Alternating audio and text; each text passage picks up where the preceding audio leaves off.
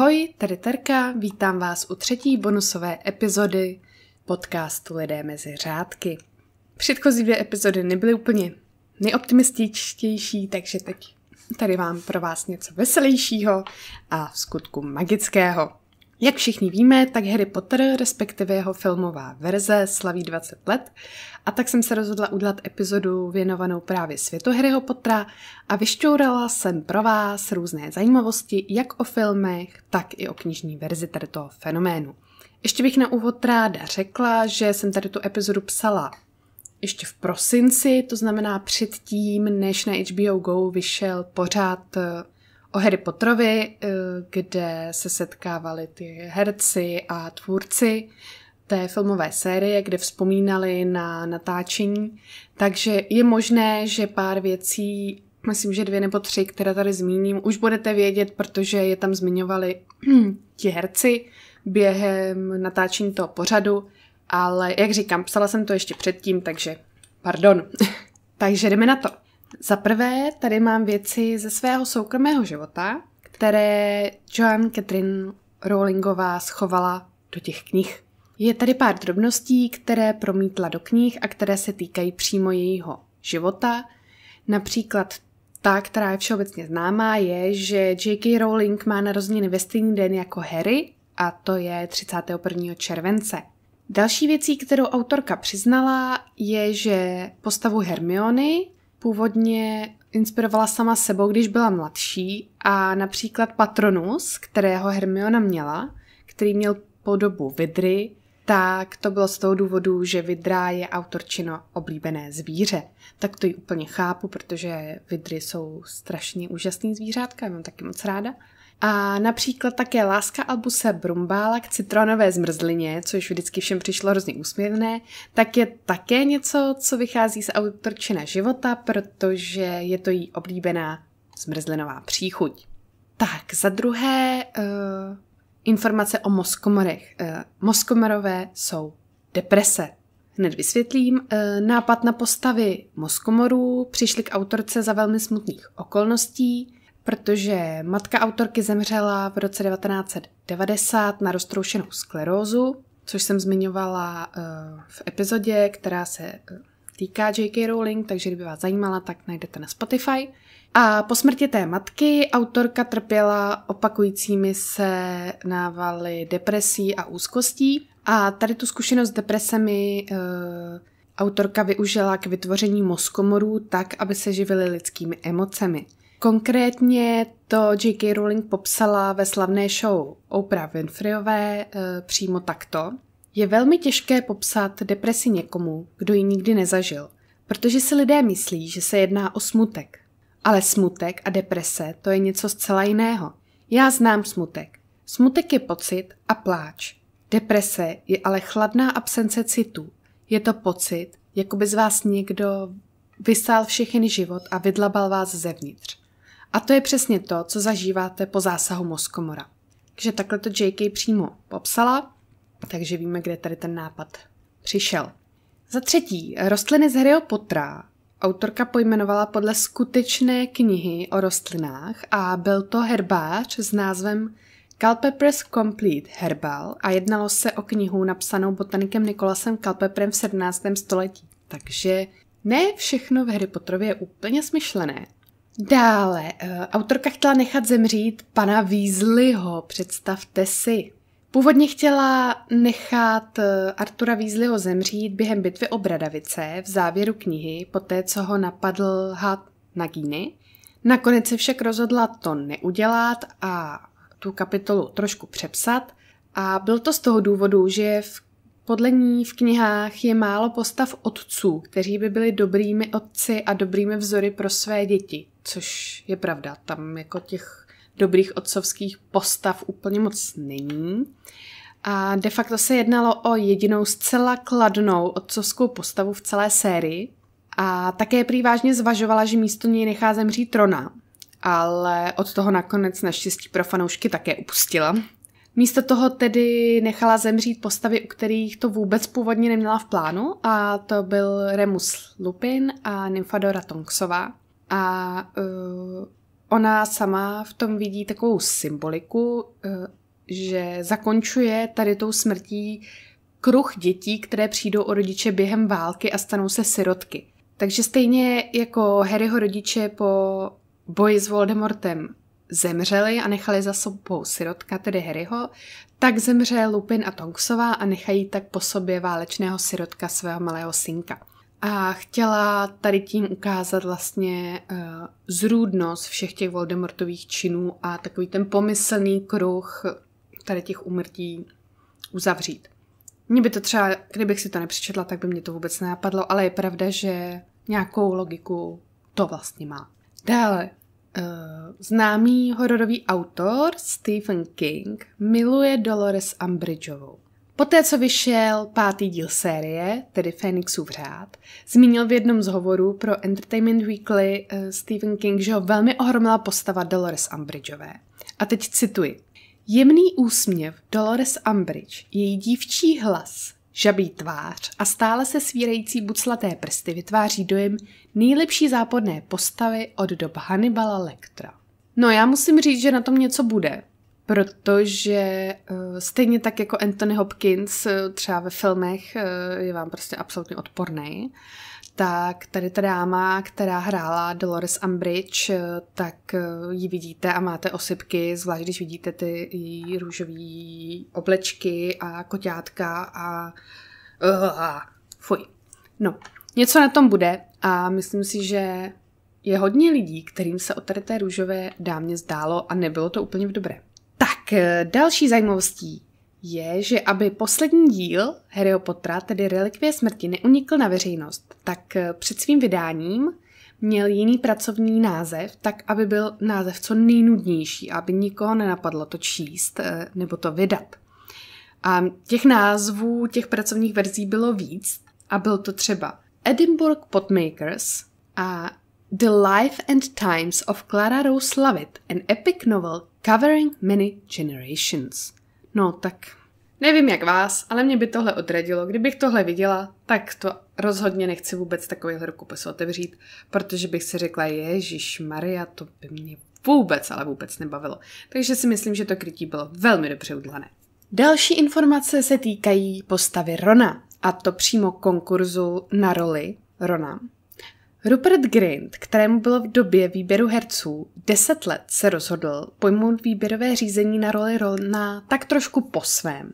Zjistil totiž, že se může přihlásit tak, že zašle fotografii nebo video. A proto vytvořil video, kde napodoboval svého učitele herectví, což ale byla dívka, o to to bylo vtipnější. A po tady tom komickém výstupu ještě zarepoval o tom, jak moc by chtěl dostat roli Rona. Takže originalita prostě byla úplně výborná. Navíc vymyslel uh, dle knih svůj vlastní scénář, který napsal, prosím, v deseti letech a poslal ho do agentury, která herce vybírala. Tak myslím si, že nikdo takový tam rozhodně na konkurzu nebyl, že by udělal tolik pro tu roli. Měl ale v tu dobu velmi tvrdou konkurenci, protože herec Tom Felton se hlásil na konkurs jak na roli Rona, tak na roli Harryho než byl díky bohu nakonec vybrán pro roli Draka Malfoje. Díky bohu, že to tak dopadlo, protože se nedokážu představit nikoho jiného, kdo by zahrál Draka Malfoje tak dobře, jako právě Tom Felton.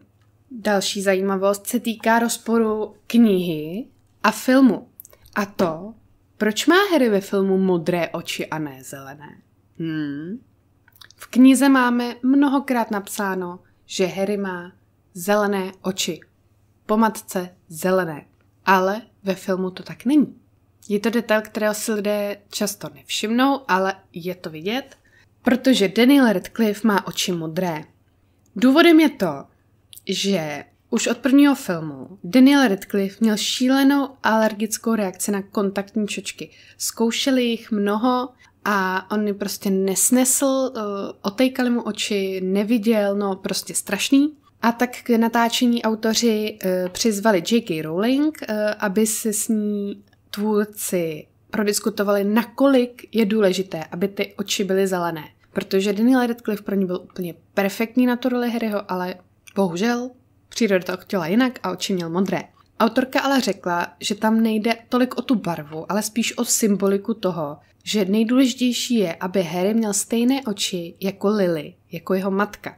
A tak zůstala tedy barva očí modrá, stejně jako barva očí Daniela Radcliffa a na roli jeho matky vybrali tím pádem herečku, která měla oči podobného odstínu jako on, v té modré, aby hrála jeho matku. A celkově uh, Daniel Radcliffe byl v tomhle dost problémový, protože měl alergii i na obroučky brýlí, které mu způsobovaly akné. No prostě rarita ten kluk. Ten kdyby měl, ten až bude mít prostě časem problémy s očima, tak to budou pro něj galie. Protože čočky ne, brýle ne, tak nevím. Asi laser, Danieli, asi laser. Jestli teda nebude alergický i na laser, že? Tak, eh, inspirace pro ufňukanou Uršulu. Eh, Rowlingová na web Pottermore si napsala, že ukňouraný duch v koupelně, ufňukaná Uršula, byl inspirován častou přítomností plačící dívky ve společných koupelnách, zvláště na večírcích a diskotékách mého mládí. Zdá se, že se to v mužských koupelnách nestává, takže jsem si užila umístění Harryho Arona na tak nepříjemné a neznámé území v Harry Potter a tajemná komnata a Harry Potter a princ dvojí krve. Další zajímavostí k této postavě je, že herečce Shirley Henderson bylo v době natáčení 36, ale díky trikům filmařů vypadala jako duch mladé dívky, ale to je jenom tak na okraj, protože to je věc, která je taková všeobecně známá. Dále, při natáčení vězně z Azkabanu měl režisér pro herce zajímavý úkol, Uh, Alfonso Cuarón dal hlavním představitelům úkol, aby napsali esej o své postavě z pohledu první osoby, aby se tak do svých postav hodně vžili. Legrační je, že ty jejich odpovědi reflektovaly přesně povahu jejich postav. Daniel Radcliffe doručil jednu stránku, Emma Watson dodala 8 až 10 stránek a Rupert Grint nedodal vůbec nic. Později Grint uvedl informace, proč nic nedodal. Eh, řekl, že se vymlouval, že nic nedodal, protože Ron by také nic nedodal. Takže to vlastně souznělo s tou jeho postavou. Ve skutečnosti to ale bylo tak, že kvůli své skutečné škole práci do té školy neměl často napsat a zapomněl na to právě kvůli tomu, že měl hodně jiných povinností. Ale nakonec to ve finále dopadlo dobře, protože Ron by ve skutečnosti úkol také neodevzdal, takže to dá se říct, že úkol splnil. Ve filmu také bylo použito kromě hodně vizuálních efektů několik animatronických modelů, aby se herci se scénou lépe zžili protože vždycky je lepší, když eh, tam máte na co sáhnout, eh, než když tam mácháte rukama před zeleným plátnem a máte si představit, že tam před váma někdo nebo něco stojí. A modely, které byly teda pravé, byly například mandragoří miminka. To bych chtěla domů, to se mi hrozně líbilo. Naše miminko je taky občas taková malá mandragora. Už jsme říkali s manželem, že uh, až bude Comic Con další a když tam půjdeme i s Prckem, takže bude mít kostým Mandragory, protože to úplně sedí. Uh, další animatronický model byl třeba Hypogryf Klofan nebo Sova Hedvika a také kniha Obludné obludárium, ta byla také pravá. Další zajímavost je, že Helena Bonham Carter si z natáčení schovala zajímavý suvenýr. Herečka měla totiž během natáčení celou dobu, kdy hrála Bellatrix Lestrangeovou umělé zuby, které si po konci natáčení nechala jako vzpomínku na ty filmy. A jí se na tom totiž líbilo, že ty zuby byly vytvořeny přímo na míru pro její ústa a nikdo jiný by si je nebyl schopen nasadit. Odnesla si je domů v takové té plastové krabičce na rovnátka a prý si je doma nasazuje, když si jí zasteskne po roli Bellatrix. No, tak eh, já vím, že oni už spolu s Timem Bartnem nejsou, ale představa, že ráno tím přijde do koupelny a tam prostě Bellatrix se zubama tak se možná trošku leknu. Dále nikdy nevíte, kdy udeří inspirace, říkala J.K. Rowling. Například názvy bradevických kolejí jí napadly zrovna, když letěla letadlem za rodinou a protože neměla po ruce nic napsaný, žádný blok, tak si názvy těch bradevických kolejí napsala na pitlíky na zvracení, které jsou v letadle k dispozici. Bála se totiž, že ten nápad zapomene takže nezapomeňte, když někam poletíte, blicí pitlík má mnoho využití, nejenom ten primární. Dále jména hlavních představitelů reflektují jejich charakter. To uvedla sama J.K. Rowling. Například Harryho jméno odkazuje na jeho vůči schopnosti a Ronovo se týká jeho role pomocníka. Harry je totiž středoanglická verze Henryho, jména populárního mezi anglickými králi v průběhu staletí. Pro Ronalda Rowlingová zdánlivě vzlížila k severos, staroseverskému Rengwald, což je titul po, pro nejbližšího vládcova poradce.